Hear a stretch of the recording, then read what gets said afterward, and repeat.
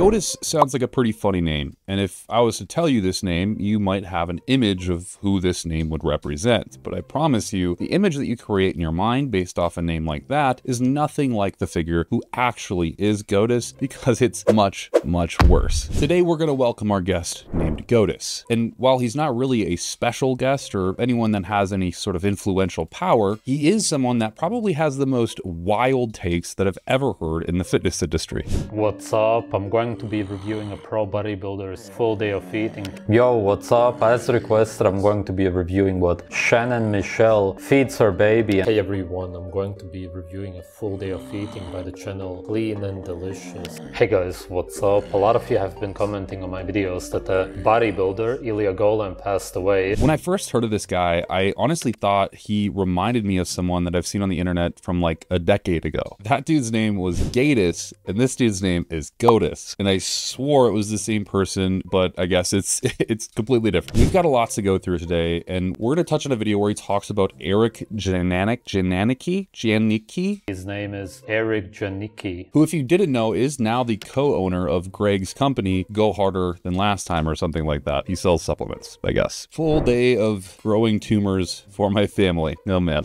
What is going on, YouTube fitness family? I know I'm starting this video abrupt in my Jesus, he looks abnormal. Ugh.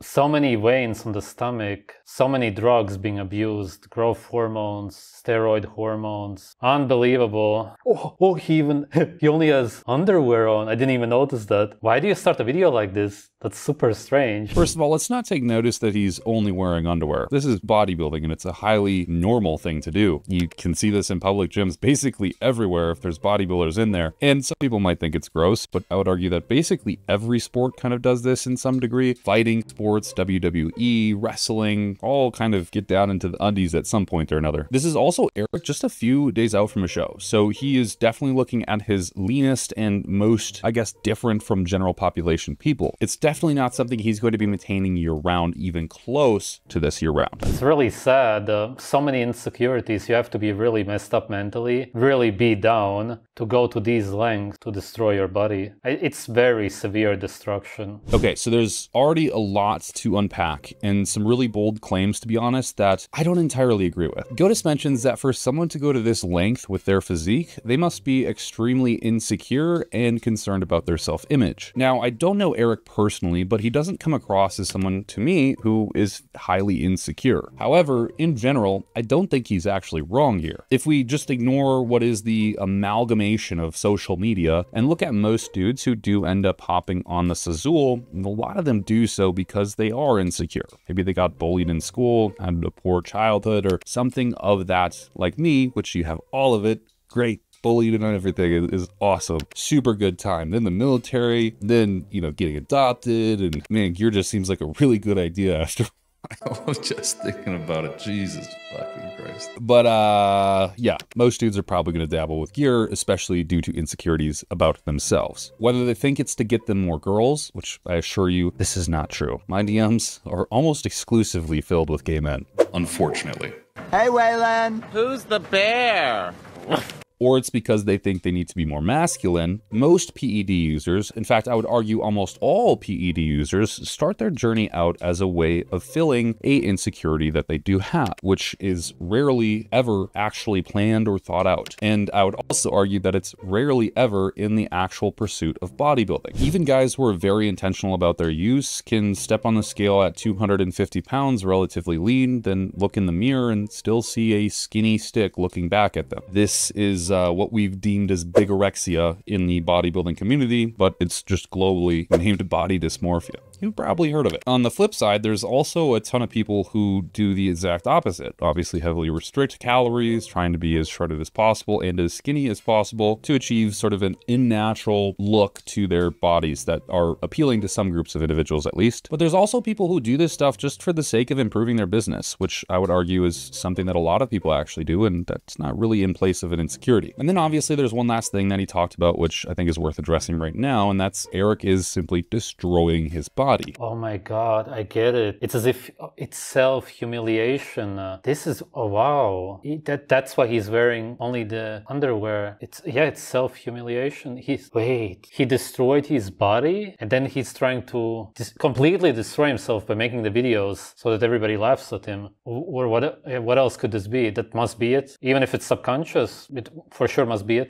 Look, I- I'm not going to sit here and tell you that a bodybuilding prep is actually the most healthiest thing in the world because it is very far from that. Hopefully, the videos I've made on this channel have shown you that at least. But I will say that responsible use of pharmacology as well as lifestyle habits to get to the leanest place possible and the biggest possible can be done in a safer manner. While it isn't the pinnacle of human health or longevity, I would argue that bodybuilders, and we've seen this from data that I've posted about on this channel before, are generally going to live longer than general population people because ultimately those general population people are obese, are unhealthy, do have insulin resistance or metabolic dysfunction at some level. At least the bodybuilders who are competing and taking this very seriously are highly precautious about their health and getting blood work every 12 weeks or so. But it gets much worse. Goatis is a very interesting character. This has to be one of the weirdest reaction videos that I've ever seen. Weird, weird. I can't even fathom how someone actually has this thought process about another person just from some very slight details. I get that everyone on the planet is not going to loathe bodybuilding. I don't actually expect that at all. But you can't seriously convince me that someone who's talking about posting a picture in your boxers is something of a humiliation kink. That is a wild take. That would mean that virtually every man who's ever had a social media and posted himself slightly exposed now has a humiliation kink, which I don't know about you, but when I post my pictures, I don't even look at the likes or comments. I just post it and go all about my business making YouTube videos. Arguably, I look pretty good. Arguably, there's a lot of comments telling me I look good from gay men, but they still say I look good. I'm not gay, by the way. Don't try to reach out to me or ask for my underwear. Why are you gay? Who says I'm gay?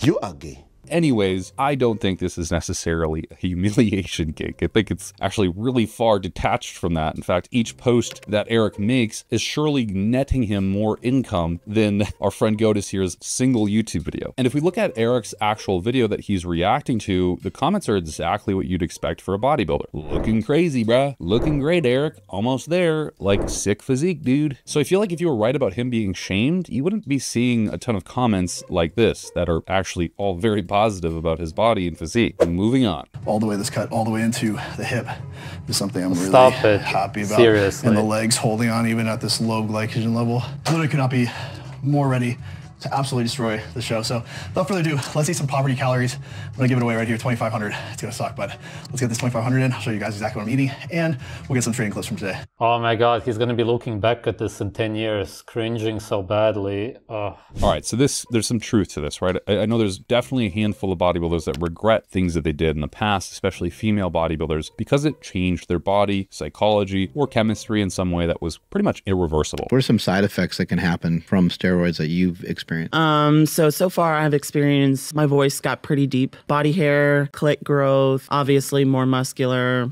Is there any way to combat that, or is there ways to have some of that reverse? Uh, reversed? I I, I don't think so. No. Uh, This could be so many different things, right? Hair loss or hair gain, deepening of a voice, kidney dysfunction, liver dysfunction, cardiac dysfunction, cognitive dysfunction. There's a lot of things that anabolic steroids don't do well for you if used it appropriately and if used long term. Not a big deal, right? But I actually don't think anyone's ever looked back at what they've done and said, whoa, that was cringe. Like, fuck me, I can't believe I did that. Because the reality is, is most of us realize that our journeys do involve mistakes, errors, and failures. I learned in the military once a great saying, which was, fail just means first attempt in learning. And I agree with this entirely. Oftentimes, even if someone tells you something, you're not going to do it correctly, even if they told you to do it correctly, because you have to fail yourself to learn the cause and effect. It's a weird thing of human nature, but it's just how it works. It all happened here. The love of my life.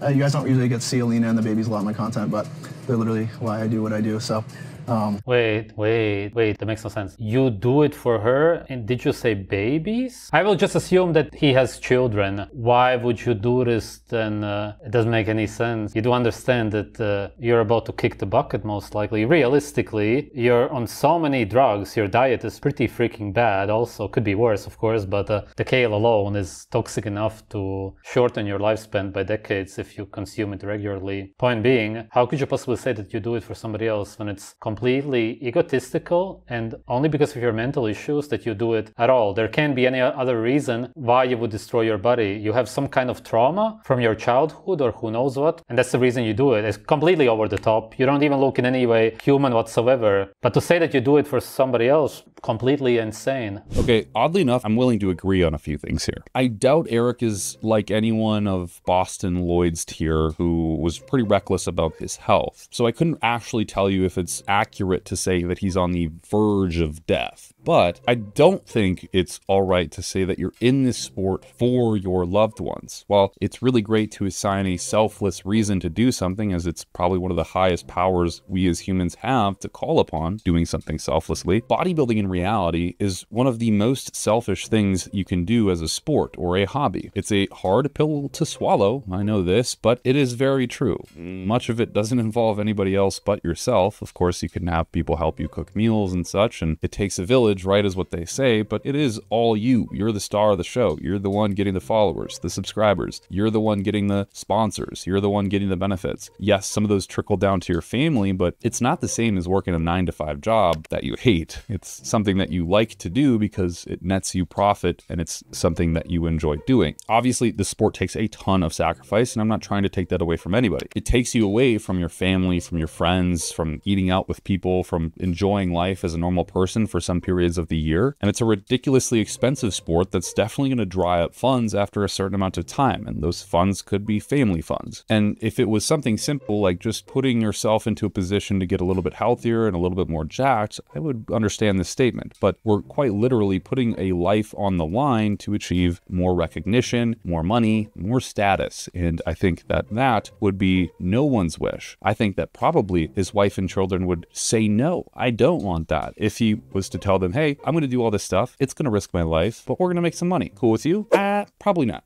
And to be honest, that's totally okay. That, I mean, that's your choice. If you want to risk it all, put the bet down, double down, and all that shit, by all means. I love bodybuilding. I love people who do it. I think they're tremendously amazing people. I think they're tremendously rigorous souls that have been through a ton of oofta, you know? But I don't think saying that you're doing this for somebody else, you're killing yourself for somebody else, is necessarily an accurate articulation as to what you're doing because you're also going to be placing a boatload of guilt on that person if you do, say, die of a heart attack or have a stroke or one of the many things that bodybuilders can pass away from. One of the main reasons I signed up with the company is because I've been using them and they're so delicious and like shakes, but also stuff like this, baking. um, Protein powders are waste So, products. Do not sleep on the Seriously, protein, stop consuming them. Yeah, I also Okay, so I'm not entirely sure where the protein powders or waste products comes from. It's a very interesting take. It's definitely a new one. I'll give you that. It's definitely a new one. Usually you hear something along the lines of whey is ultra processed foods and you should be eating whole foods, which is sometimes a poor argument in and of itself. Of course, if you have sensitivities to whey concentrate, which is a very poor form of whey protein, that could be a caveat. Many other things like sensitivities to dairy, which arguably you're eating the wrong kind of dairy if that is a problem, but these things are caveats. Generally speaking, whole food would be considered whey protein as it's constructed from whole food. If we're using the definition of a actual waste product as the definition states on the dictionary, we're talking about a byproduct of something that makes or serves no purpose and is by all measure useless. The fact that people want protein as a supplement makes this statement kind of void in the first place. And there's absolutely zero logic in arguing that all of this is just byproducts of manufacturing processes and are inevitably harmful. I mean, that's like saying babies are dangerous because they're the byproduct of good sex. It makes no sense. want some like really good Cinnamon kind is flaky salt. extremely that, like, toxic. you know, they kind of reminds you of like when you get a chocolate Deadly, cookie. really. Cinnamon is deadly. In this video so far, Goatis has called kale extremely toxic, protein powder a waste product, and now cinnamon is even deadly. We just need to stop eating, bros. This is fear mongering at its absolute maxed out limits. It is turned up to 11 here. You know what I feel like talking about today? Fear mongering. While I'm all about being factual, and I will often point out things like phytic chemicals in food, which are not necessarily additive to your diet, and just because a vegetable is a vegetable doesn't mean it's healthy. There's a lot of byproducts in vegetables that can be contaminants and or awful for your health. I'm not going to tell you it's going to kill you, or it's dangerous, or it's something that's even harmful to the human body. In large doses, oxalic acids can be very harmful to the body, but that would require pretty much intentional effort to eat the large enough dose to be harmful. So I definitely think there's some validity in saying that fear mongering certain foods can do certain beneficial things versus harmful things. I mean, we're at the point where we're even being told not to drink fucking water. People have been online asking me what water should they drink. This is my second go-to water right here, Mountain Valley Spring, because it has no sodium, it's natural. This is what I drink when I need to drink water. Everything else has sodium added, electrolytes, all that that your body don't recognize. I think it's very well and truly a horrible situation with how bad fear mongering about dietary intake has gotten. I am all about nutritional sciences. It's what my degree's in. But I will clearly tell you that most nutritional sciences are made up BS, and there's actually no concrete evidence just about any nutritional strategy out there. But secondly, Asian countries do use a fuck ton of cinnamon in their cooking. I think by now we would be seeing a lot of them drop like flies. But again, just using a simple bit of critical thinking and logic would show you that that's not actually happening, and people seem to actually live longer in many Asian countries. And we got the whole crew here. We got Landon with sauce all over his face.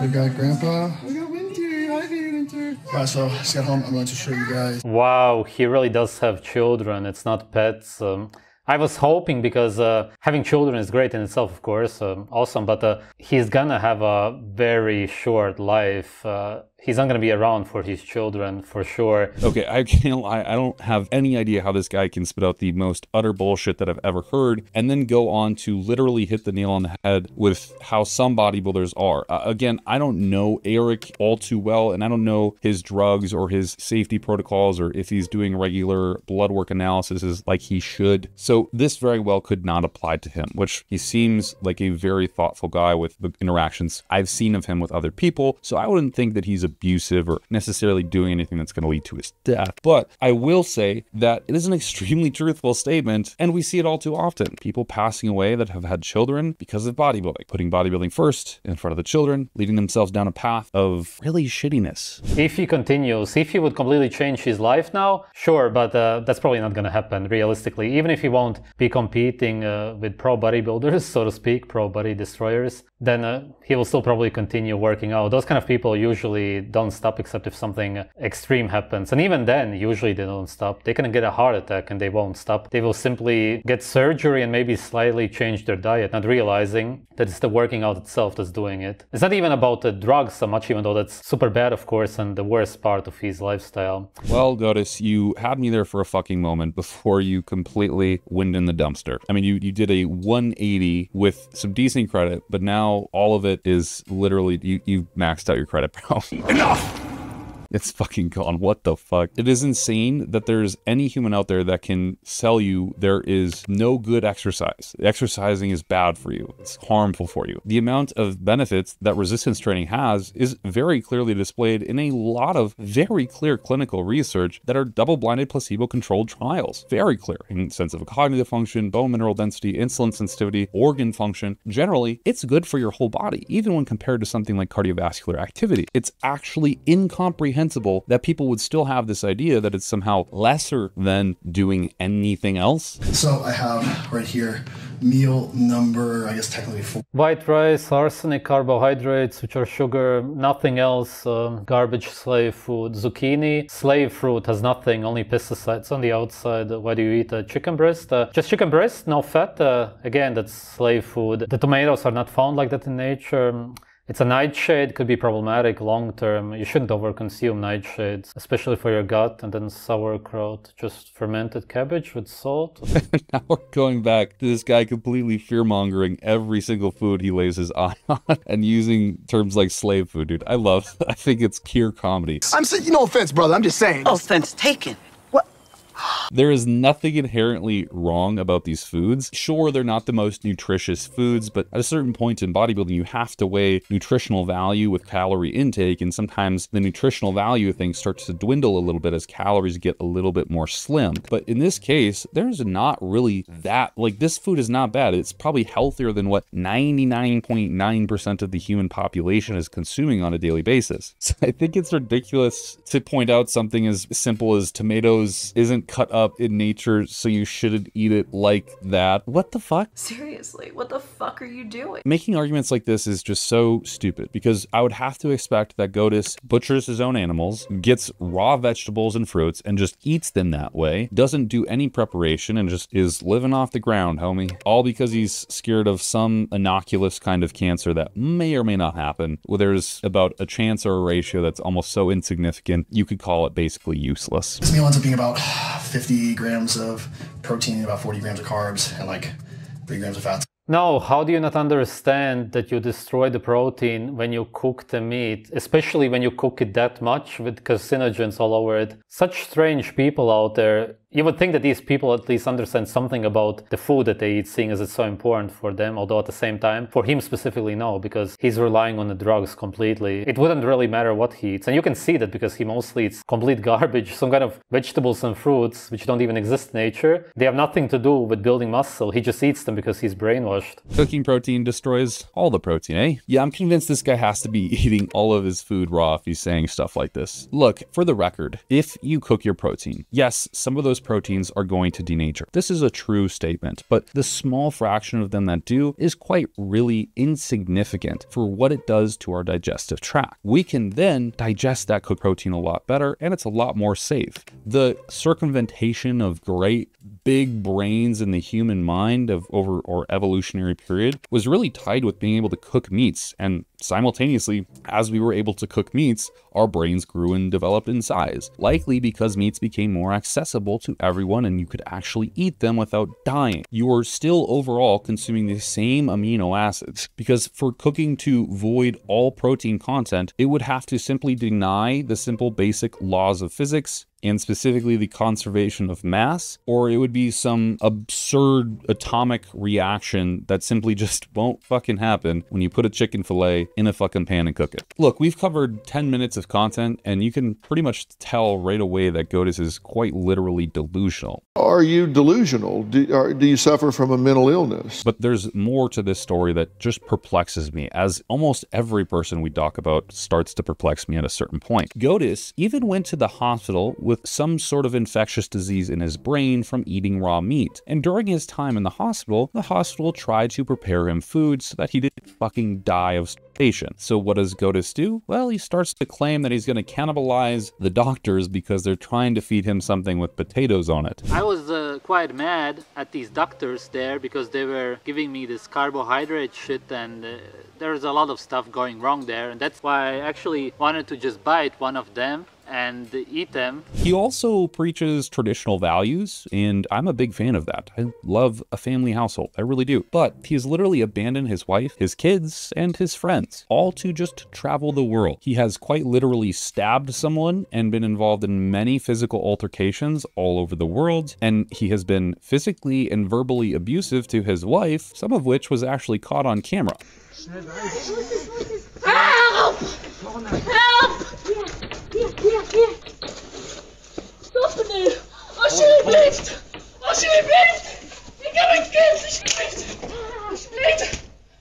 That was Diane being hit nine times with a nightstick before being choked against the wall with it, followed by the man pouring acid over her. And on top of all this, he does streams, which you would think, as a carnivore advocate, someone who thinks meats should be eaten and only meats, has been eating vegetables and fruits on his own fucking streams. Oh, also, he stabbed his classmate in high school and then dropped out of school. And his past girlfriends before his wife came out to say very similar things about him that he's been abusive, verbally abusive, and physically assaulting. The guy is definitely not all there. and he has some major personality disorders. I mean, psychopathic levels of personality disorders. He is a liar, a grifter, and someone who just tries to say radical things for a bit of altercation in the comments and some more algorithmic attention for views. Which, hey, I'm all about it, you know? I'm all about it. Everyone gets worked up when I post some shit, and usually it helps me out because the more comments I get, the more views I seem to get on videos. And so when there's people arguing about, I said this, I said that, or whatever, I'm just like, let's troll some more, boys, and get those comments flowing. I'll make it rain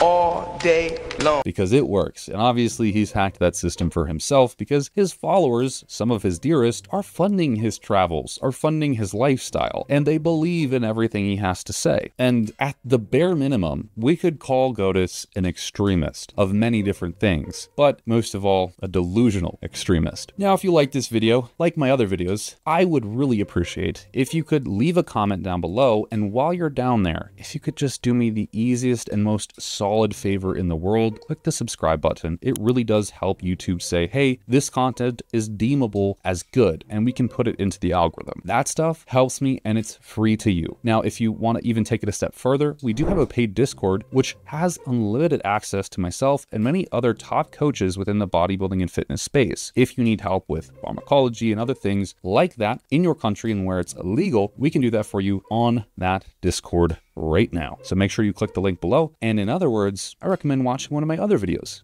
And keep consuming, consuming, consuming, consuming my videos, consuming.